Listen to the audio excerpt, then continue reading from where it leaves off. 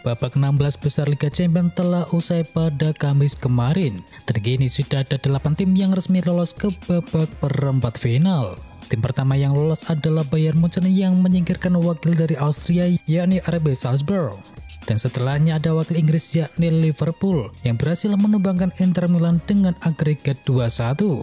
Saat berselang ada Manchester City yang dengan mantap menaklukkan wakil Portugal yakni Sporting Lisbon. Dan ada juga Real Madrid yang lolos dari hadangan raksasa asal Prancis yakni PSG. Selang satu minggu, empat tim kemudian menyusul. Berstatus sebagai tim tamu di leg kedua, keempat tim ini mampu menang di kandang lawan-lawannya.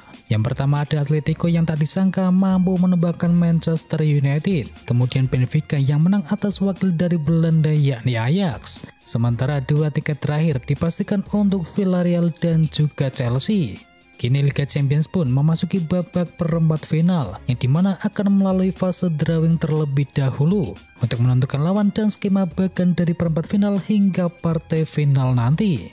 Untuk drawing sendiri dijadwalkan pada hari Jumat 18 Maret 2022 mulai pukul 18 waktu Indonesia Barat live dari uefa.com. Dalam drawing nanti tidak ada aturan seperti drawing babak 16 besar kemarin, yang di mana ada aturan tidak memperbolehkan tim dari satu negara untuk bertemu. Jadi bisa saja Real Madrid bertemu dengan Atletico Madrid atau Liverpool bisa saja bertemu dengan Chelsea. Sampai di sini Mimin mau berspekulasi. Demi partai final yang ideal, maka Mimin memprediksi bahwa di perempat final kali ini bisa saja ada partai big match dari satu negara. Berikut adalah prediksi perempat final versi tahu bola. Di perempat final kali ini, Mimin memprediksi bahwa Manchester City kemungkinan akan bertemu dengan Benfica. Setelahnya ada big match sesama negara, yakni Real Madrid yang akan bertemu dengan Atletico Madrid. Kemudian Chelsea akan berhadapan dengan Liverpool. Dan terakhir, Villarreal akan berhadapan dengan Bayern Munchen.